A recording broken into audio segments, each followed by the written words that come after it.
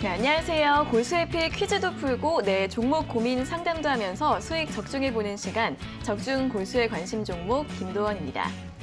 자, 코스피가 지난 1월 말 이후 약 3개월 만에 장중 3,200선을 다시 돌파했습니다. 오늘 외국인이 3거래일 연속 매수하고 개인도 3일 만에 다시 매수에 동참하면서 장중 3,204선까지 터치를 했는데요. 그 이후에는 저항에 부딪히면서 현재 0.3% 정도 탄력을 보여주고 있고요. 3,190선 초반에서 움직임을 보이고 있습니다.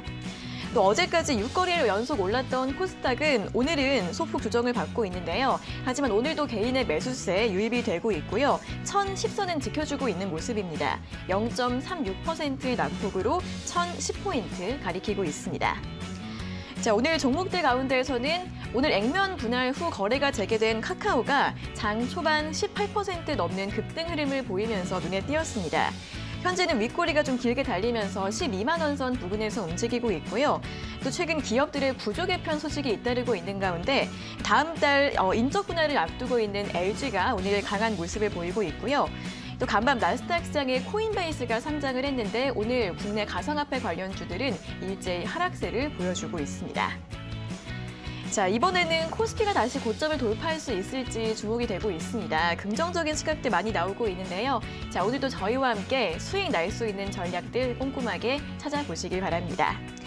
자, 저희 고수의 관심 종목 TV에서도 보실 수 있고요. 또 유튜브와 네이버 TV에서도 실시간으로 함께 하실 수 있습니다. 댓글도 달아주시고 함께 소통하면서 방송 시청해주시면 더 좋을 것 같고요.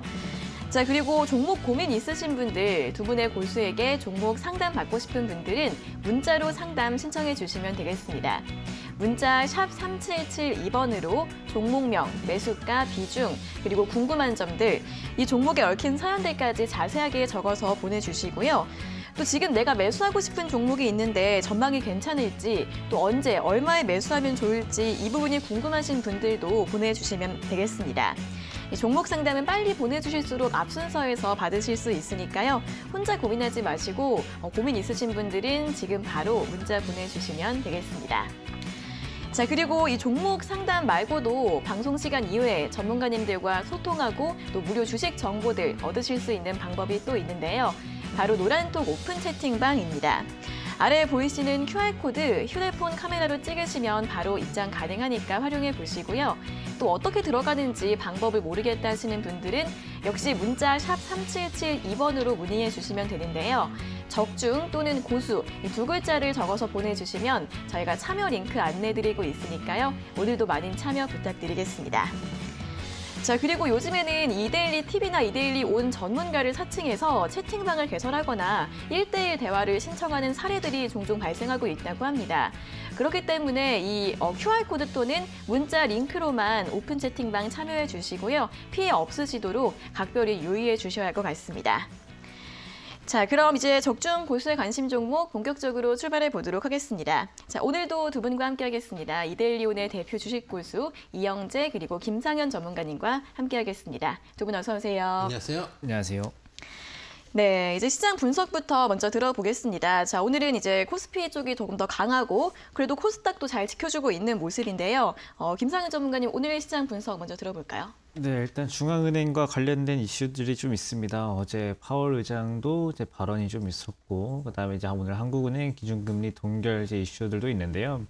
어제 미국 증시가 뭐 빠졌다라고는 하지만은 원래부터 뭐 빠진 흐름으로 시작했던 것은 아니고 원래는 좋게 시작을 했지만은 이제 중간에 이제 빠졌던 건데 이제 그 중간에 이제 빠졌을 때 하필 타이밍이 파월 의장이 이제 발언을 한 이후에 빠지면서 이제 파월 의장이 차익 실현을 불렀다. 뭐 파월 의장의 발언이 뭐 차익 실현의 명분이 되었다. 이런 평가들이 굉장히 많은데요.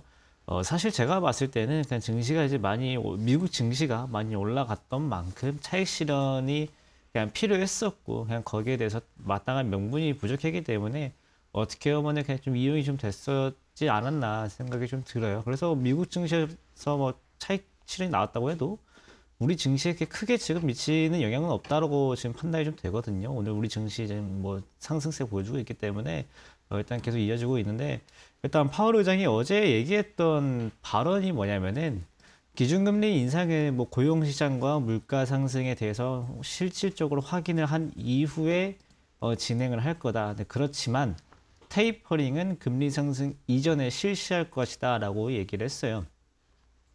근데 되게 당연한 말이거든요. 원래 금리 인상이 테이퍼링이 아니고 지금 미국 연준에서 미국 국채를 막 사들여 주고 있잖아요. 이 사들이는 것 자체가 이제 유동성 완화 정책인데 이거를 이제 그만 사면은 그거 자체가 테이퍼링이거든요. 근데 기준금리를 올리기 전에 채권 매입을 먼저 0으로 줄이고 나서 기준금리를 올리, 올리, 올리는 게 어떻게 보면 당연한 것이기 때문에 당연하게도 테이퍼링이 기준금리 인상보다 먼저 나옵니다. 오늘 우리나라 동결했잖아요. 이게 순서가 미국에서 채권 매입 규모를 줄이고 제로가 될 때까지는 계속 줄이기만 한 다음에 제로가 된 이후에 기준금리 인상이 나오고 우리나라는 미국 다음에 그 뒤에 쫓아가면서 올려가는 흐름들이 나올 거기 때문에요. 당분간에 미국의 채권 매입 규모가 좀 줄어든다 차이 나올 때까지는 일단 이런 상황이 좀 지속되지 않을까 좀 생각이 좀 듭니다. 그리고 어제 미국 증시에서는 차익 실현 증 장세가 나타났고 오늘 우리나라는 뭐 차익장이 나온다라고 하기에는 뭐 딱히 특별한 뭐 이슈가 없는데 미국은요 뭐 기술주들이 계속 시장 상승을 이끌어 왔어요. 그래서 기술주들이 이제 계속 고가를 경신하면서 이제 지수도 경신 고가를 경신하는 건데 우리나라는 지금 어 지수가 뭐 고가를 경신하는 흐름들이 나오고 있지만은 종목이 신고가를 경신하는 이런 갱신하는 흐름은 아니거든요. 이제 그렇기 때문에 차익 실현 장세가 나오는 타이밍이 조금 다를 것 같습니다. 우리나라도 뭐 종목별로 이제 다 종목들이 다 52주 신고가를 좀 달성하는 이제 그런 종목들은 차익 실현이 나올 수는 있겠습니다만은 지금 우리나라 증시 상승을 좀 불러오고 있는 뭐 배터리나 제약주들은 52주 신고가가 아니고 52주 저가에서 더 가까운 종목들도 많고 배터리는 거의 중간쯤에 있기 때문에 아직까지는 차익 실현 우리나라에서 나타나지 않고 있다. 이 정도 차이가 좀 있을 것으로 보이고요. 여기서도 찾아야 되는 교훈이 뭐냐면은 이제 가성비입니다. 요즘에 자주 말씀드리는 이제 표현인데 어, 지금 좋은 회사가 많고, 뭐 오늘 카카오 많이 올라가니까 좋은 거는 알겠습니다만은, 이제 가성비를 많이 따져보라는 게, 내가 이 회사를 사는 게 가성비가 있다고 판단하는지, 가성비가 사실 보면은, 뭐 명확하게 계산이 되는 수치는 아니잖아요. 명확하게 계산이 되는 수치는 아니에요. 근데 내가 이것을 했을 때 저것을 했을 때 뭐 같은 돈을 지불하고 같은 시간을 지불한다고 했을 때 뭐가 더 좋을까라고 한번 생각을 한 번만 더 해보시면은 이 가성비라는 걸 찾을 수가 있어요. 제가 예전에 SK 이노베이션도 어, 정말 많이 빠졌고 많이 빠진 걸 조금만 회복돼도 수익이 크게 다가오기 때문에 가성비가 좋겠다. 그 다음에 그거 말고도 자동차, 2차 전지 이제 이런 것들 가성비 좋은 것들이 많으니까 많이 빠진 것들 위주로 접근하는 게 좋겠다라고 말씀드린 대부분의 배경은 다 이쪽 가성비 측면에서 접근한 방법들이기 때문에 지금도 이런 방법들이 유효합니다. 그럼 이런 것들이 오히려 지금 차익 실현 장세에서 차익 실현 나올 매물도 적고요. 반등 나왔을 때 그 반등 흐름도 세기 때문에 일단은 내가 무엇인가 매수할 때 가성비에 대해서 한 번 더 생각을 해보시면 굉장히 도움이 많이 되실 것 같습니다.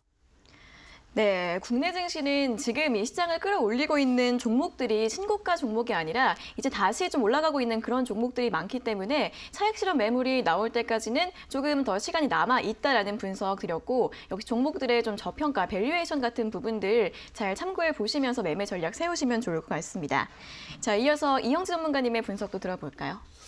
일단 여러분들 시장이 상승하고 있는 거에 비해서 지금 아마 여러분들 계좌가 어, 재미가 없는 가능성이 좀 높아요. 왜냐하면은 코스닥이 지금 코스피가 지금 0.27% 상승을 하고 있는데 반해서 지금 하락 종목이 더 많거든요. 346 종목 지금 코스피 상승하고 있고 하락 종목이 485 종목 거의 뭐 한 30% 정도 하락 종목이 더 많고 지금 코스닥 같은 경우는 두 배 정도 하락 종목이 더 많거든요. 그래서 여러분들 계좌 자체가 좀 하락할 가능성이 있습니다. 근데 어, 코스피를 보니까 시장은 좋은 것 같은데 내 종목만 왜 파란 건가라고 생각을 하시는 경우도 있을 텐데 오늘 시장이 좀 그런 상황이다. 어, 가장 큰 이유 중에 하나는 아무래도 카카오겠죠. 어, 시장 총액 큰 종목이 시장을 좀 땡겨주는 면이 있고 그쪽으로 좀 사람들 관심이 쏠려 있으니까 어, 그런 쪽으로 수급이 몰려가면서 오히려 이제 다른 쪽 뭐 여러분들이 지금 돈이 없기 때문에 사고 싶은 종목이 생겼을 때 어, 카카오가 싸 보인다라고 했을 때 어, 있는 종목들 정리하고 가시는 것들이 있을 거거든요. 그런 측면에 지금 수급이 좀 꼬여 있는 상황이다라고 생각해 주시면 되고 그래서 여러분들 개별 종목들 좀 빠지더라도 시장 전체적으로 어, 지수한 부분은 올라가지만 좀 빠진 종목 수가 많으니까 어, 그런 것들 중에서 좀 조심했으면 좋겠다는 말씀 을 드리고 싶어요. 그리고 어, 어제 오늘 이제 조금 뭐라 그럴까 이슈가 됐던 이제 것 중에 하나가 지금 얘기가 많이 질문이 들어오는 것 중에 하나가 이제 남양 위험 얘기를 많이 네. 이제 방송에서도 하고 하는데 저는 그렇게 생각합니다. 그 어제도 제가 이제 말씀드렸지만은 어 이게 이제 내용 아시면 아시는 분들은 아시겠지만 이게 효과 있다 없다 이 기준이 우리가 통상은 이제 인체에 있는 어, 코로나 바이러스 사멸 여부가 중요한데 어 예를 들면 이제 소위 말하는 세포 단위 시원관에 있는 그 어, 세포에 어, 불가리스 같은 뭐 성분을 부었을 때 이제 효과가 있다라는 얘기를 이제 뭐 했다는 얘기인데 그게 따지면 사실은 이제 사람 신체가 아니라 뭐 세포 단위로 있는데다가 락스를 부어도 효과가 있을 것이고 뭐 빨간 약을 부어도 효과가 있겠죠.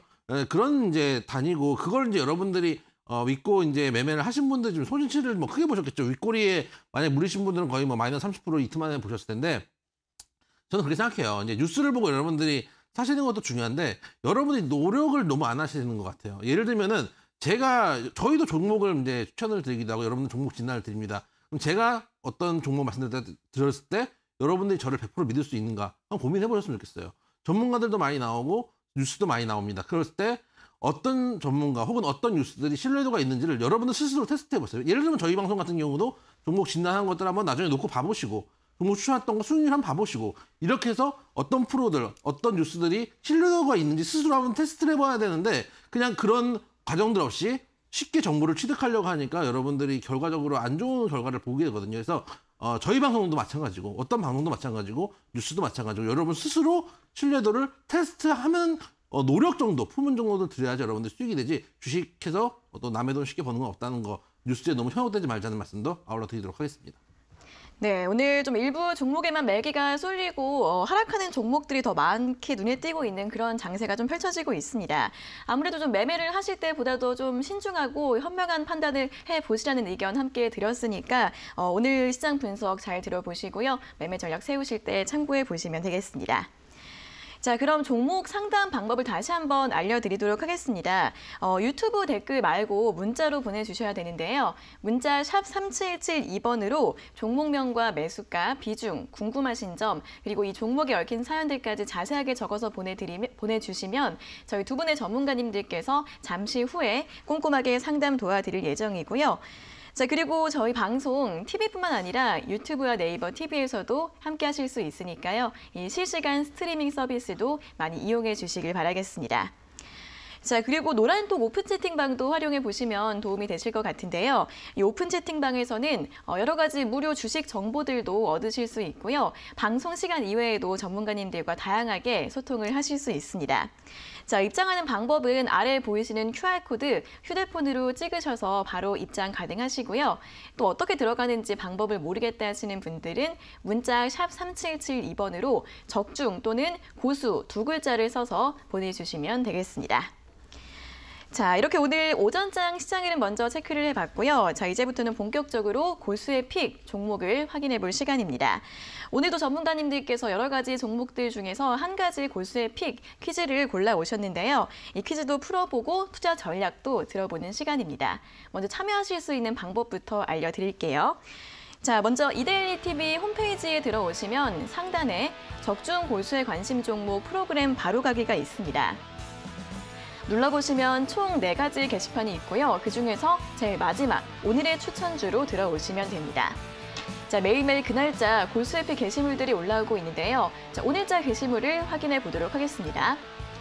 자, 오늘은 총 7가지 종목이 있습니다. 저희가 이 중에서 한 가지 종목을 골라서 오늘의 퀴즈로 출제를 해드리고 있고요. 전문가님들께서 여러 가지 힌트들을 드릴 예정인데 힌트를 잘 들어보시고 정답을 알 것 같아 하시는 분들은 문자 샵 3772번으로 보내주시면 되겠습니다. 자, 이 샵 3772번으로 보내실 때 정답만 딱 보내주시는 게 아니라 여러 가지 이야기들, 사연들 함께 적어서 보내주시면 저희가 그런 분들 위주로 다섯 분을 뽑아서 골수의픽 일주일 무료 이용권 드리고 있으니까요. 자, 오늘도 퀴즈 그리고 정답 많이 참여해 주시면 좋겠습니다. 자, 그럼 이제 오늘의 퀴즈를 한번 확인해 보도록 하겠습니다. 오늘 일곱 가지 종목 중에서 7번 B로 시작하는 세 가지 글자의 종목이 오늘의 퀴즈인데요. 어, B로 시작하는 종목 첫 번째 힌트 바로 들어보겠습니다. 네, 오늘 종목도 이제 어렵진 않습니다. 어렵진 않고요. 어, 오늘 종목 코스피 시장에 상장이 좀 되어 있고요. 코스피 시장에서 3,000원대 지금 거래가 좀 되고 있습니다. 3,000원 아, 후반대고 뭐 장, 최근 들어서 4,000원 잠깐 넘기도 했지만은 지금은 3천 후반 한 3,800원 정도에서 이제 왔다 갔다 하고 있는 어, 흐름을 보여주고 있고요. 그 다음에 이제 하나의 이제 브랜드인데 하나의 브랜드인데 요즘에 백화점에 가면은 꼭 있는 브랜드 중에 하나입니다. 이제 백화점의 특정 층수에 가면은 어, 항상 거의 모든 백화점에 들어가 있을 만큼 되게 백화점 유통에 신경이 많이 쓰여 있고 실제로 뭐 로드샵보다는 백화점을 통해 또는 온라인을 통해서 유통을 많이 하고 있기 때문에 어, 일단 사실 지금 이렇게 B로 시작하는 게 상장이 되어 있는 종목 중에서 또 이렇게 같은 브랜드로 백화점에 가 있는 브랜드라고 하면 사실 이 종목밖에 없기 때문에 어 사실 오늘 종목은 남성분들보다는 여성분들이 먼저 생각이 나실 수가 있습니다. 종목 특성상 그렇기 때문에 이것도 하나의 힌트니까 잘 참고하셔가지고 마저 힌트 듣고 문자 주시면 되겠습니다. 네, 백화점에 이- 가면 꼭 있는 브랜드라고 하니까 정말 아직 모르겠어요. 아직 모르겠고 어, 지금 궁금해하시는 분이 계셔가지고 말씀을 드리자면 왼쪽 분이 송중기시고 오른쪽 분이 현빈이십니다. 오늘 좌송중 우현빈과 함께하는 퀴즈 시간 다음 힌트 들어볼까요? 아, 어, 안녕하세요. 현비만입니다. 네. 어, 저희가 알기로는 이제 그 가운데 이제 그 도원 앵커님 애칭도 여러분들이 잘 아시고 있더라고요. 지금 보니까 유튜브에도 많이 써주시는데 여신도원이라고 여러분들이 아니요, 어, 아니요. 어, 카톡 쪽에서도 검색을 해보시면 나오는 방이 있습니다. 아니에요. 그래서 저 그래서 어, 저희 이제 뭐 어, 모시는 이제 시종 입장이죠. 시장 입장이라고 생각이 되고 네. 그리고 어, 일단 여러분들 비로 시작하니까 지금 여러분들이 유튜브 채팅창에 써주시는 게 다 비덴트입니다. 네네. 그러니까 여러분들이 주식을 할 때 좀 생각을 해보셔야 될 필요가 있어요. 사실 여러분들이 비덴트보다는 이 회사를 어, 많이 이제 보실 수가 있는데 비덴트를 생각하시는 이유는 뭐냐면 여러분들이 뉴스를 보거나 어느 시선이 그러니까 객관적으로 주식시장을 보지 못하고 어느 정도 그 소위 말하는 정보에 의해서 시선이 쏠려 있는 것들이 있다는 얘기거든요. 어, 그렇기 때문에 내가 과연 냉- 냉정하고 객관적으로 시장을 보고 있는지에 대해서 한번 고민해 보셨으면 좋겠다는 말씀을 아울러 드리도록 하고 일단 예전은 이제 그 구, 남영, 염직 그리고 어, 여성용 네일을 제조 및 판매하는 회사다라고 생각해 주면 되고 음, 여성용이기 때문에 이제 남자분들은 직접 이제 뭐 선물하실 때는 사보신 분이 계실지는 모르겠습니다. 저는 해본 적이 없어가지고 어 그런데 국내 최대 여성 란제리 전문 기업이니까 여러분들 충분히 아실 수 있는 기업이고 어 예전에는 이제 그 앞에 남영이 붙었습니다. 근데 지금은 이제 그게 떨어지고 어, 세 글자만 돼 있는 종목이고 그러니까 여러분 충분히 아실 수 있는 종목인데 워낙 비덴트 이런 것들을 네. 어 생각하시는 분들 계셔가지고 이름 힌트를 조금 드리자면은 네. 앞에 있는 이제 두 글자는 이제 그 옛날에 이제 저희 때 가수 이름이기도 합니다. 어, 여러분들 어, 도원앵커님이 마치 나는 모르는 데라는 표정으로 벌써 벌써 난 아니, 아니, 모르는 아니. 데를 하려고 준비를 하는 표정으로 쳐다보고 아니에요, 있습니다. 아니에요. 말씀하세요, 옛날에 이제 말씀하세요. 하늘 땅 별땅이라는 노래를 불러드렸던 그 가수 두 글자의 네? 이제 그룹이 있습니다. 하늘 땅 별땅이라고 어 모르시 네가 마른 여자를 좋아한다 해서 그 힘든 다이어트 참아왔는데 오, 어, 아- 아실 것 같죠? 아니, 아니. 그래서 그 노래를 부른 그룹 두 글자 써주시면 되고 뒤에 있는 한 글자는 어, 아. 아, 어렵지 않습니다. 여러분들 어, 최근에 이제 그 단일화에 어, 단일화했던 어, 성- 서울시장 선거에서 여러분들 정치 참여주들 많이 관심을 가지셨을 텐데 어, 이제 단일화에 단일화에서 이제 이기지 못했던 그 후보 어, 님의 성을 써주시면은 어, 오늘 세 글자의 종목이 나오니까 충분히 맞출 수 있는 종목 어, 말씀드리도록 하겠습니다. 네. 아, 그, 그 앞에 두 글자가 요즘에도 가수가 있으시거든요. 아세요? 제가 아까 오시기 전에 그 얘기하고 아, 왔습니다. 그죠, 그죠. 역시 또 똑같은 가수에서 세대 차이가 이렇게 납니다. 요즘 또 20대 분들이라면 또 아실 수 있는 여자분 가수가 있고 또 전문가님 말씀하신 거는 혼성그룹인가요?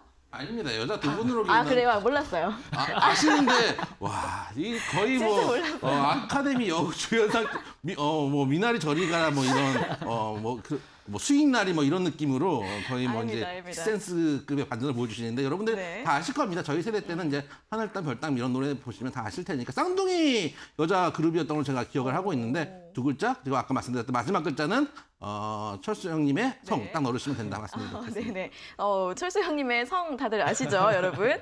자, 오늘 세 가지 글자의 종목인데 한 글자 한 글자 충실하게 또 열심히 힌트를 드려봤습니다. 자, 정답 아시는 분들 어, 많으실 것 같은데요. 이제 문자 샵 3772번으로 보내주시면 어, 저희가 잠시 후에 또 이제 다섯 분 뽑아서 여러 가지 사연들도 읽어드릴 예정이니까 오늘도 많은 문자 보내주시고요.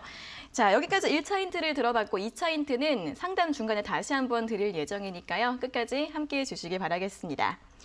자, 그럼 바로 이어서 종목 상담 시간으로 이어가 보도록 하겠습니다. 9503번님께서 보내주신 문자 확인해 보도록 할 텐데요. 어, 현대위아 매수가 84,000원, 비중 20%입니다. 추가 매수를 해야 할까요? 수익 볼 수 있을까요? 라는 질문을 주셨는데 어, 오늘 77,600원 선 최근 횡보를 좀 하고 있는데 추가 매수 괜찮을까요, 전문가님?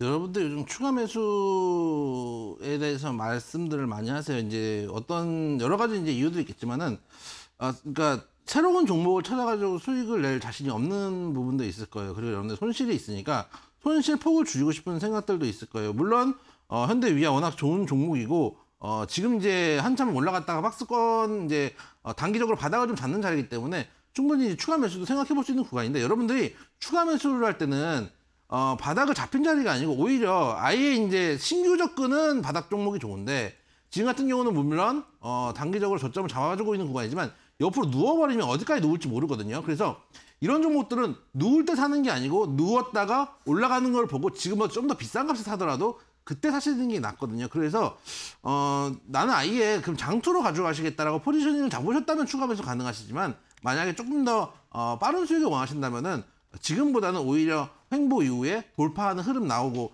한, 한 8만 원대, 한 8만 5천 원 이상 되는 가격, 8만 5천 원 가격을 돌파한 이후에 사시는 것도 속도적인 측면에서는 어, 올바르다. 그래서 추매 가능하시지만 어, 매매 포지션에 따라서 가격 전략은 좀 다르게 드린다 말씀을 좀 드리도록 하겠습니다. 네, 현대위아 상담 들어봤고요. 다음은 5441번님께서 보내주신 문자 확인해 보겠습니다. 제이스택 매수가 1,700원, 비중 20%인데요. 작년 3월 이전에 매수한 건데 너무 힘듭니다. 추가 매수를 한다면 어디서 해야 할지 도움 주시면 감사하겠습니다. 라는 문자를 보내주셨습니다. 어, 작년 3월 이전에 1년 넘게 좀 보유를 하셨는데 오늘은 7,610원을 기록을 하고 있고요. 계속해서 좀 하락세가 이어져 왔습니다. 추가 매수 고려하고 계신데 어떻게 하면 좋을까요, 전문가님? 네, 일단은 두 가지 방법이 있겠죠. 추세를 좀 돌렸다라고 판단이 되든가 아니- 아니면은 이제 뭔가 가격적으로 좀 메리트가 좀 생긴다. 이 종목 이 종목이 이 가격이면 진짜 싸지. 이렇게 느꼈을 때 또는 추세가 좀 돌아갔을 때 이 두 가지 시점을 잡아야 될 것 같은데요. 일단은 이 추세가 돌아갔을 때는 아직은 아닙니다. 아직은 아니고 이 추세가 돌아간다라고 판단을 하는 거는 어, 주식을 싸게 사는 게 아니고 싼 가격을 확인하고 반등 나오는 걸 이제 확인을 하는 부분을 이제 그렇게 표현을 하거든요. 근데 그런 측면에서는 오히려 이 종목이 8,200원, 8,300원 정도를 회복하는 것을 눈으로 한번 보고 나서 매수를 추가 매수를 진행을 하시는 게 훨씬 더 나을 것으로 보이고 그게 아니고 진짜 가격적으로 메리트가 있는 부분을 본다라고 하면은 전저점이겠죠. 전저점일 겁니다. 그 가격이 6,000원인데 사실 6,000원까지 빠지면 지금 당장 어, 그 시청자님께서 타격이 크실 거예요.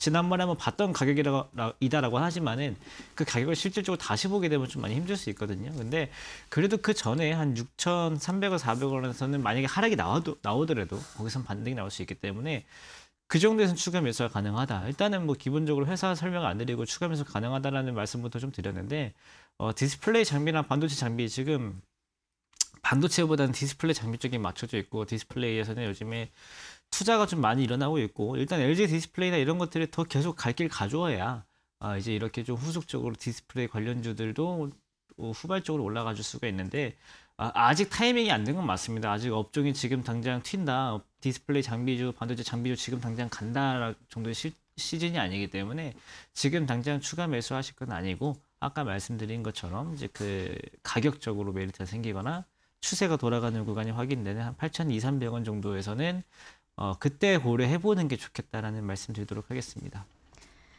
네, 추세가 전환되거나 8,200원에서 8,300원 정도 가격이 왔을 때 그때 추가 매수 고려해 보시라는 의견 제시드렸습니다. 자, 다음은 3903번님께서 보내주신 문자입니다. 안녕하세요. 수젠텍 매수가 2만 1,700원, 비중 50%입니다. 제가 들어오자마자 계속 떨어지네요. 어떻게 해야 할까요? 꼭 상담 부탁드립니다. 라는 질문을 보내주셨는데요. 어, 최근에 진단키트 관련주들 다시 한번 올랐을 때 그때 좀 매수를 하신 것 같은데 어, 대응 어떻게 해보면 좋을까요, 전문가님? 최근에 이제 진단키트 관련주들이 아무래도 이제 그 확진자들이 늘면서 4차 대유행이 온다. 뭐 이런 얘기도 나오고 있고 또 이제 이번에 취임한 오세훈 시장이 이제 그 간, 간이 자가 진단 키트를 도입해가지고 노래방에, 노래방부터 해가지고 이제 시범 사업을 좀 해보겠다. 이런 얘기들도 좀 나오고 있거든요. 어떻게 보면 정책 테마주로 볼 수도 있는 측면이 있고 가장 중요한 거는 어, 시젠부터 뭐 수젠텍 이런 진단 키트 관련주들 너무 많이 갔다가 지금 엄청나게 빠진 상황이거든요.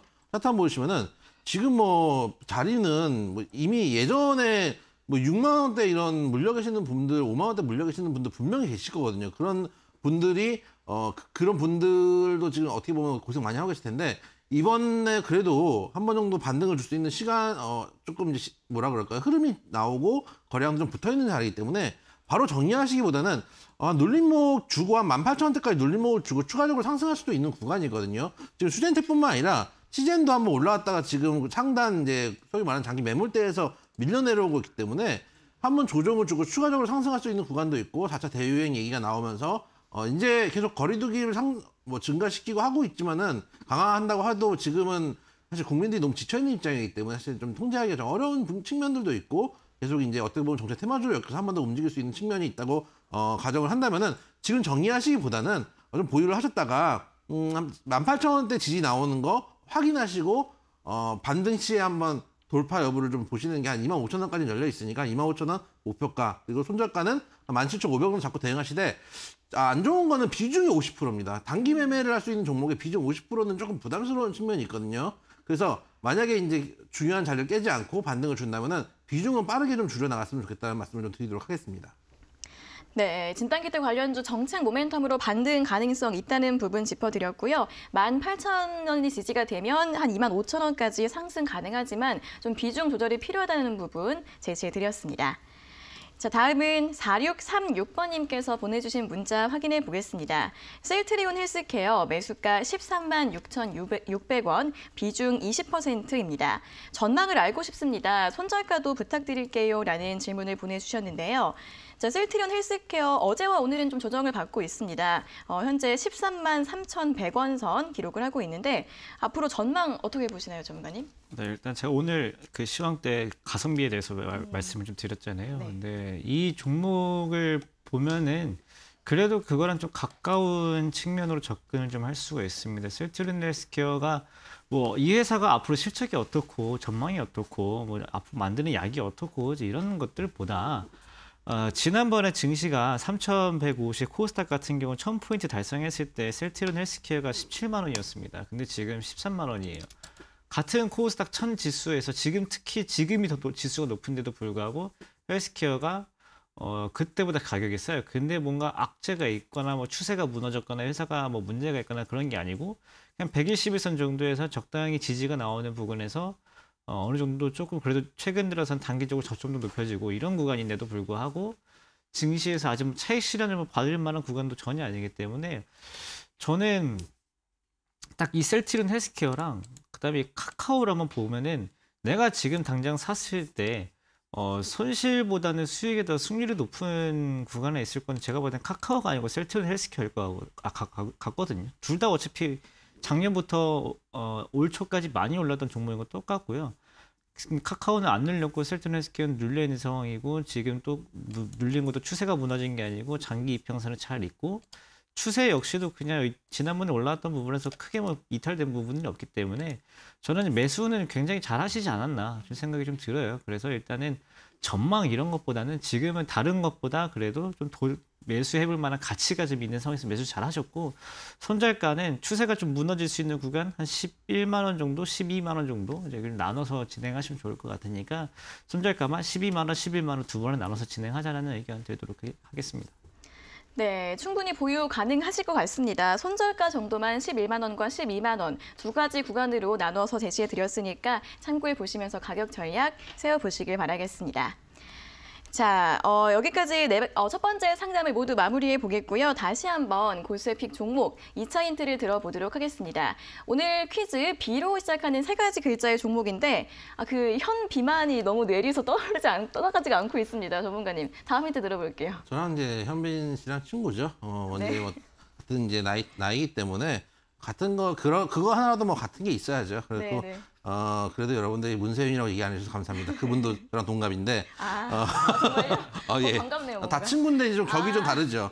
어, 이제 그렇고 어, 오늘 종목 이제 비로 시작한 세 글자의 종목입니다. 여러분들이 네. 비너스로 아시는 분들도 있죠. 비너스랑 이제 어, 이, 치- 이 친구는 다릅니다. 서로 이제 어 뭐 거의 뭐 같은 친구 레벨이죠. 같은 이제 같은 매장들도 네. 거의 뭐 비슷하게 있는 어 그런 이제 종목인데 어 비비안 같은 어, 비너스 같은 경우는 이제 신형 왁고르라는 어, 별도의 회사가 있습니다. 그래서 어, 그걸 이제 찾으시면 되고 오늘 이제 비로 시작한 다른 어, 비너스가 아닌 다른 이제 회사라고 생각해 주시면 되고 어 비로 시작한 세 글자 종목인데 뒤에 있는 두 글자만 여러분들이 아시면 어 뭐 쉬운데 아까 말씀드렸다시피 제가 이제 아까 말씀드렸던 현빈 어를 현비만이라고 말씀- 말씀드렸는데 그 어, 비만과 비슷한 어, 단어가 들어가니까 여러분들 네. 충분히 알 수 있는 오늘 종목이고 오늘 정말 정답은 쉬운데 음, 여러분들이 항상 말씀드리지만 정답을 저희가 선착순으로 받는 게 아닙니다. 어, 사연들 여러분들 주식시장을 보시는 과목들 또 혹은 이 종목에서 지금 이 종목도 물려 계시는 분들 많으실 거거든요. 그리고 이 종목뿐만 아니라 여러분들 구조대가 필요한 종목들 많이 이제 써서 보내주시면 저희가 좀 참조해서 여러분들께 조- 어, 구조대를 보내드리겠다라는 말씀도 드리니까 많은 사연과 함께 정답을 보내주시면 좋겠습니다. 비너스 할 때부터 좀 불안불안했거든요. 저도 보, 불안했어요. 보면은 좀, 어, 좀 긴 거는 실수를 잘 안 하시는데 세 가지 글자일 때 자꾸 이렇게 튀어나오시더라고요. 저는 들은 적이 없습니다. 아, 네, 알겠습니다. 못 들었습니다. 다시 한번. 네, 좋습니다. 자, B로 시작하는 세 가지 글자의 종목, 어, 많은 분들이 이제 아실 것 같죠? 자, 정답 샵 3772번으로 많이 많이 보내주시고요. 저희가 잠시 후에 여러 가지 사연들도 함께 어, 소개를 해드리도록 하겠습니다. 자, 그럼 다시 한번 종목 상담으로 이어가 보겠습니다. 6118번님께서 보내주신 문자 확인해 볼게요. 자, 휴니드 매수가 9,100원, 비중 15%입니다. 손절해야 할까요? 대응 전략 알려주세요. 라는 문자를 보내주셨는데요. 자, 휴니드 같은 경우에는 어, 이번 주 들어서 계속 좀 하락세가 나오고 있고 8,630원 기록을 하고 있습니다. 전문가님, 이분 손절을 고민해 봐야 할까요? 네, 일단은 손절도 어느 정도 고민은 하셔야 됩니다. 지금 당장은 아니고 이제 경우의 수를 좀 봐야 되는데 휴니드가 최근에 이제 올라온 이유를 좀 봐야 됩니다. 그러니까 내가 지금 뭐 매수를 했는데 이것을 뭐 손절을 해야 되는가라고 판단을 들- 하기 전에 어, 언제 손절을 해야 되는가를 생각을 해보시고 언제 손절을 해야 되는지 찾으려면은 이게 왜 올랐는가 한번 생각을 해보시면 되세요. 휴니드가 최근에 이제 올라왔을 때 뉴스를 다시 돌아가 보면은 그때 이제 북한에서 이제 뭐 동해상에 뭔가 이제 쐈을 때 이제 올라갔는데 이제 방위 산업으로 올라갔습니다. 방산주로 이제 올라가게 됐고 방산주 때문에 이제 올라왔는데 지금은 그러면서 추가 상승이 나오려 그러면은 뭔가 이제 이 국방 관련돼서 악재가 나와야 어, 오히려 이제 지금에서 상승 추세 더 가지고 이제 올라갈 수가 있고 이런 뉴스가 좀 부재한다 싶으면은 좀 내려갈 수가 있어요. 그렇기 때문에 이슈가 없는 상황에서 한 8,300원 밑으로 내려가게 되면은 사실 저는 손절을 하시는 게 낫지 않을까 좀 생각이 좀 들고요. 휴니드가 뭐 드론 관련된 이슈도 있지만은 지금은 방위 산업 관련된 이슈로 올라왔기 때문에 그리고 어, 국방적으로 무슨 문제가 생길지는 제가 알 수 있는 범위가 아니잖아요. 이제 그렇기 때문에 뭐 이제 이것은 어떤 이슈 받고 올라갈 겁니다. 이렇게 말씀드리기는 어렵고요. 어, 혹시나 이 종목이 손절하기 전에 이제 그런 뉴스가 나오면 안 되겠지만 만약에 나오게 된다라고 하면은 단기 상승 나올 거거든요. 이제 그때는 이제 매도를 좀 짧게 진행하시고요. 그래도 뭔가 이 주식 시장이라는 게 되게 수상한 게 뭔가 이렇게 흐름들을 잘 만들어 놓으면은 이제 뭔가 일이 일어, 일어납니다. 항상 뭔가 이렇게 좀 잘 흐름들을 만들어 놓은 다음에 중요한 뉴스가 한 번씩 나와요. 휴니드도 마찬가지고요. 이 휴니드랑 비슷하게 움직였던 이 빅텍도 앞서서 마찬가지였거든요.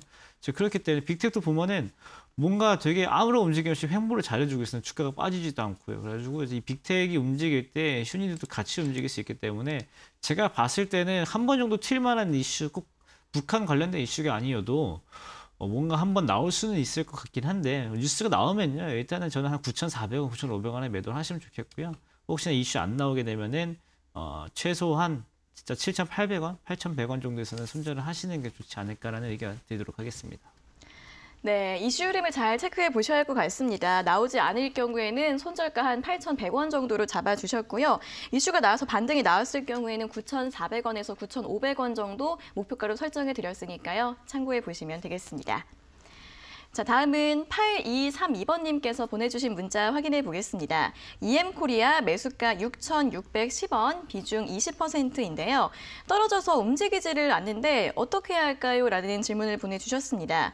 자, 올해 들어서 주가 흐름 굉장히 좀 지지부진한 것 같은데 오늘은 5,240원입니다. 어떻게 대응을 해보면 좋을까요, 전문가님? 일단 이 회사가 직접 하는 이제 업보다는 자회사가 운영하는 이제 수소 에너지 관련된 기대감 때문에 여러분들이 아마 어, 수소차 관련주들 이런 걸로 좀 접근하시는 분들이 많으셨을 거예요. 그래서 이제 어, 들어가셨고 이제 최근에 이제 수소 에너지 관련된 뉴스들이 나왔을 때 사셨을 텐데 6,600원대면은 제가 항상 말씀드리지만 여러분들 정구점에서는 매도할 준비를 하셔야 되지 여기서 들어가시면 안 되거든요. 근데 자꾸 이제 더 가거나 이제 슈팅이 나온다. 그리고 그게 가장 큰 문제 중에 하나는 뭐냐면은 정부에서 이제 많이 올라왔을 때 어 뭐 관련 뉴스들이 나오고 관련 뉴스가 나오면 좋게 얘기를 해야 될 거 아닙니까? 뭐 앞으로도 이제 뭐 어, 친환경 에너지 얘기 나오고 이렇게 이제 할 때 여러분들이 좀 관심을 갖는 경우들이 많기 때문에 좀 어려움을 겪으시는 분들이 많으시는데 일단 이 종목 자체는 실적적인 측면에서 지금 계속 그 뭐라 그럴까요? 계속 실적적인 측면에서 음, 적자 폭이 좀 커져가고 있는 종목이기 때문에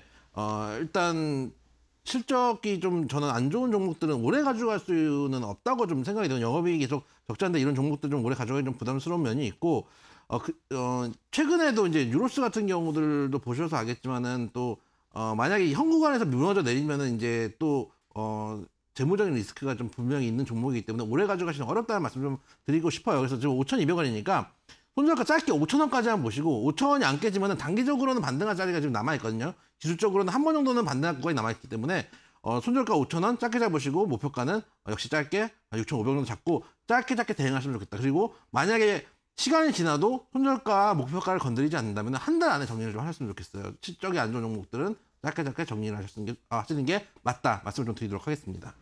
네, 실적 부분에서 좀 리스크가 있기 때문에 좀 단기 대응을 제시해 주셨고요. 손절가 5,000원, 목표가 6,500원으로 잡아드렸습니다. 자, 다음은 8828번님께서 보내주신 문자 확인해 보겠습니다. 삼성제약 매수가 9,980원, 비중 30%입니다. 거의 반토막 났어요. 어떻게 해야 하나요? 하면서 울면서 문자를 보내주셨는데 어, 오늘 최근에는 현재가 6,000원 선 이하에서 좀 움직이고 있습니다.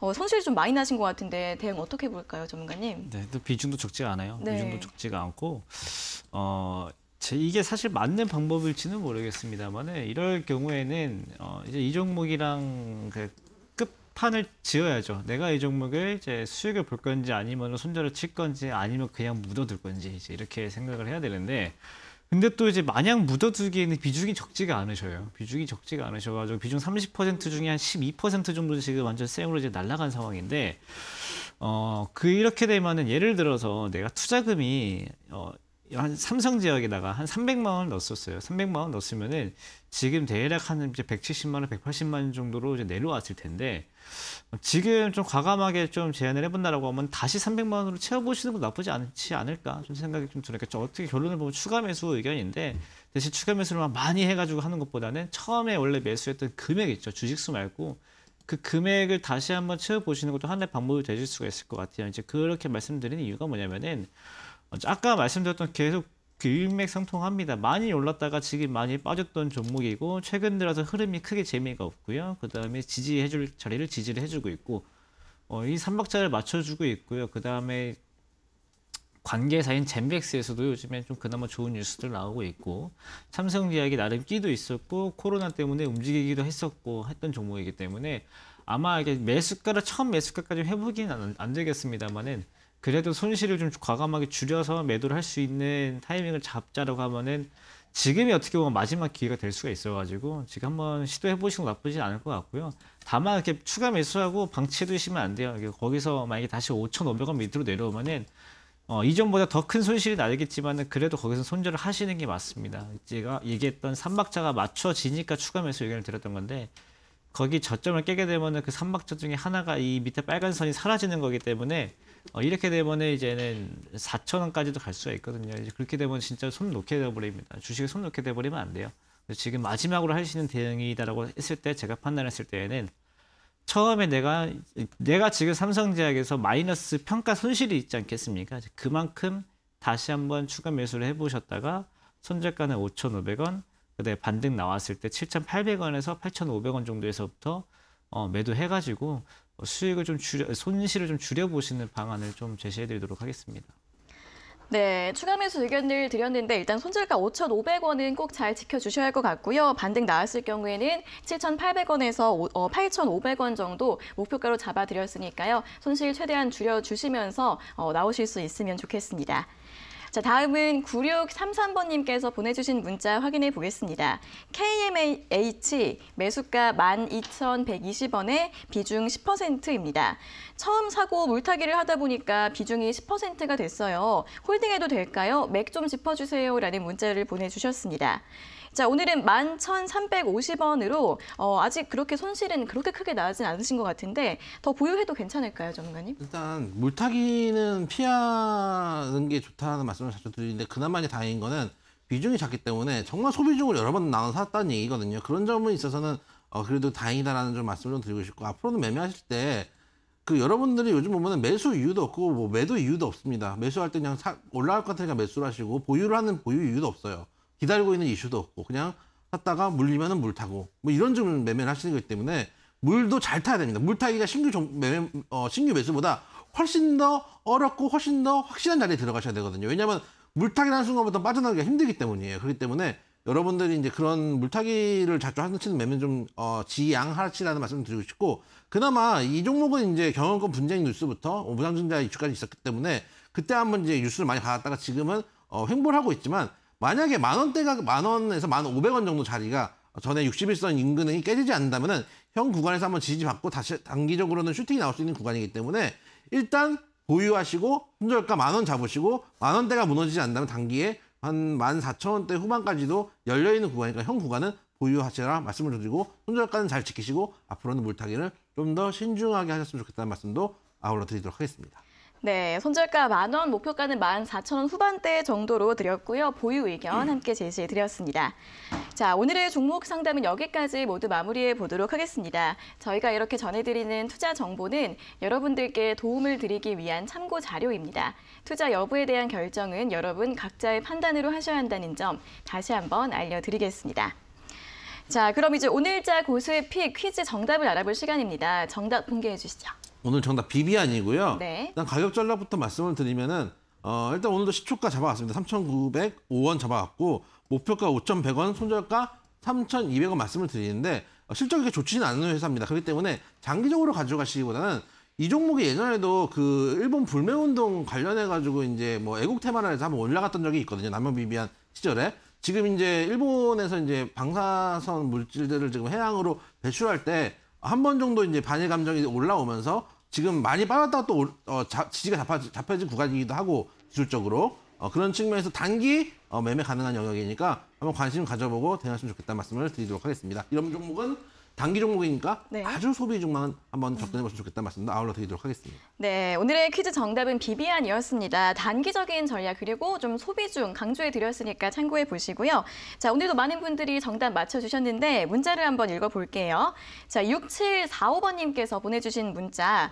어, 비비안 리가 아니고 비비안. 주식 1년 차가 되어 보니까 이형주 전문가님 말씀대로 주식은 즐겁게 해야 된다는 걸 이제야 깨닫게 됩니다. 딱딱하지 않은 방송 즐겁게 봅니다라는 칭찬 문자 를 보내주셨죠. 저희가 딱딱하지 않죠, 그렇죠? 아, 제일 저, 제가 좋아하는 문자입니다. 여러분들 제가 항상 말씀드리지만 수익 욕심은 당연한 거고 어, 저는 웃음 욕심이 많습니다. 재밌게 봤으면 좋겠다는 말씀을 드리도록 하겠습니다. 네, 수익과 웃음을 모두 잡아드리는 방송입니다. 자, 다음은 3122번님께서 보내주신 문자인데, 어, 이분은 굉장히 충실한 문자를 보내주셨어요. 내 안에 인핏이 당당한 아웃핏을 만든다라는 브랜드 스토리가 있다고 합니다. 굉장히 멋진 말인데요. 그쵸? 인핏을 아웃핏으로 한다는 게 슈퍼맨 같이 그런 건가요? 제가 뭐 그렇습니다. 네, 마음을 둥글게 하면 뭐 몸도 둥글거진다 그런 말은 아니겠죠? 슈퍼맨이겠죠? 네, 알겠습니다. 자, 그리고 이제 6596번님께서는 어, 이영주 전문가님 하트 보내주시고 저도 하늘땅 별땅 안다. 그리고 공감하는 문자를 또 보내주셨네요. 그래서 뭐 워낙 유명했던 그 노래입니다. 어, 여러분들 뭐 예- 이런 치 요즘 좀 힘드니까 옛날 뉴스 어, 노, 노래나 옛날 이제 영화들 같은 걸 많이 회상하는 경우도 있는데 방송 보시면서 그런 이제 좋았던 기억들 옛날 기억들도 한 번씩 이제 떠올리시면서 웃음을 짓는 어, 시간이 됐으면 좋겠습니다. 네, 더불어 저는 역사 공부를 되게 열심히 하고 있고요. 자, 8232번님께서는 엄마랑 저랑 두 분 다 팬인데 저는 현비만님, 엄마는 송중기 씨를 좋아한다고 합니다. 다 각자의 취향이 다르신가 보네요. 네, 한마디씩 해주세요. 그래서 원래는 반대거든요. 이제 어, 젊은 여성분들은 네. 이제 날씬한 김상현 전문가님을 좋아하고 어. 이제 어머님들이 저는 이제 뭐 뭘 줘도 잘 먹게 생겼다, 음. 뭐, 뭐 이제 듬직하다 이렇게 해서 좋아하시는데 어, 어머님이 되게 이제 영하시고 보는 눈이 확실하시다. 어, 뭐 이런 얘기를 또 드리도록 하겠습니다. 네, 어머니에게 좋은 어, 반응을 해주셨는데 됐습니다. 네, 아, 아, 좋습니다. 자, 오늘도 이렇게 여러 가지 칭찬 문자 그리고 방송 즐겁게 봐주시는 분들 여러 가지 칭찬들 많이 와서 어, 저희도 너무 뿌듯하게 생각을 하고요. 자, 내일도 더 즐거운 방송 그리고 도움 될 수 있는 방송 만들 예정이니까 계속해서 함께 시청해 주시면 되겠습니다. 자, 오늘 이렇게 문자까지 전해드리면서 오늘 순서 모두 마무리해 보도록 하겠습니다. 자, 오늘도 이영재, 김상현 전문가님과 함께 즐겁고 알찬 정보 들어봤습니다. 자, 두 분 오늘도 고생하셨고요. 내일 다시 뵙겠습니다. 고맙습니다. 좋습니다. 감사합니다. 네, 저희가 정답자 다섯 분을 뽑아서 고수의 픽 일주일 무료 이용권 드리고 있는데요. 어, 방송이 끝나고 모르는 번호로 전화가 와도 꼭 잘 받아주셔서 상품 수령해 주시면 되겠습니다. 자, 그럼 계속해서 이 시각 시장 상황 확인해 보도록 하겠습니다. 박혜미 캐스터가 전해드립니다. 네, 이들리 시황센터에서 현재 시장 상황 정리해 드리겠습니다. 코스피 먼저 확인해 보시죠. 오늘 3,180선에서 출발한 지수는 석 달 만에 장중 3,200선을 뚫어냈습니다. 다만 다시 한번 저항을 받으면서 3,190선으로 내려온 모습인데요. 현재 0.3% 오르면서 3,192선을 지나가고 있습니다. 그런 수급의 움직임도 확인해 보시죠.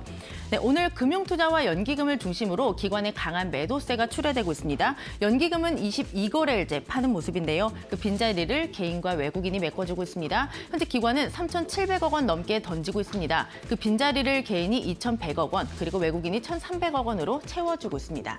그럼 코스닥의 움직임도 확인해 보시죠.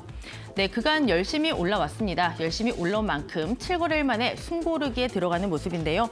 오늘 대형주로 관심이 쏠리게 되면서 중소형주의 약세가 두드러지고 있습니다. 하락하는 종목들도 많습니다. 현재 그래도 보합권까지 올라왔네요. 0.1% 내리면서 1012선을 지나가고 있습니다.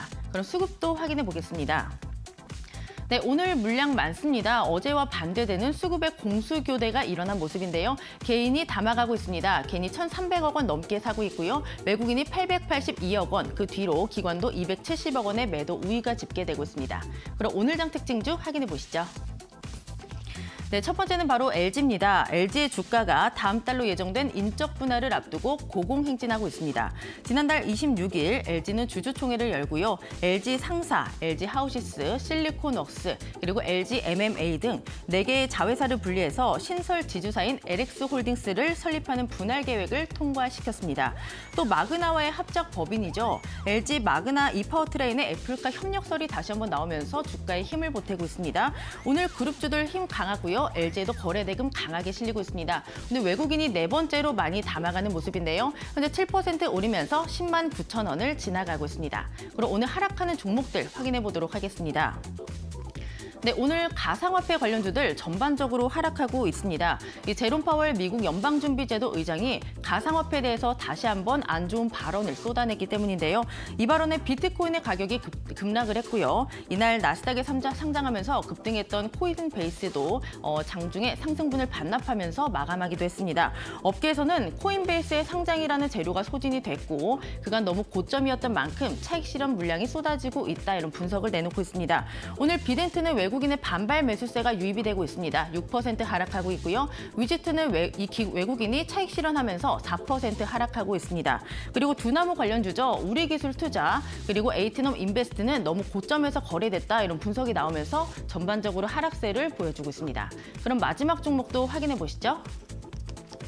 네, 정유주들 보도록 하겠습니다. 현지 시간으로 14일, 유가는 3월 17일 이후로 최고치를 경신했습니다. 4.9% 오르면서 배럴당 60, 63달러 15센트의 장을 마쳤는데요. 국제에너지기구가 올해 글로벌 원유 수요 전망치를 상향 조정하기도 했고요. 원유 재고가 예상보다 크게 줄어든 점도 유가 상승에 힘을 보탰습니다. 오늘 국제유가 급등하면서 전반적으로 힘 좋습니다. 한국 석유 간단하게 보고 가도록 하겠습니다. 오늘 액면 분할 이슈가 있습니다. 10대1 액면 분할을 하면서 오늘 급등했는데요. 18,900원에 거래가 형성되고 있습니다. 네, 지금까지 시황센터에서 시장 상황 전해드렸습니다. 네, 적중 고수의 관심 종목 저희가 오늘 준비한 순서와 내용은 여기까지고요. 저희는 내일 오전 11시에 다시 돌아오도록 하겠습니다. 오늘 함께해 주신 여러분 고맙습니다.